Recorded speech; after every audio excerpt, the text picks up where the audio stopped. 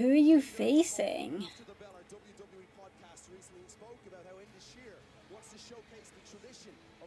Ooh.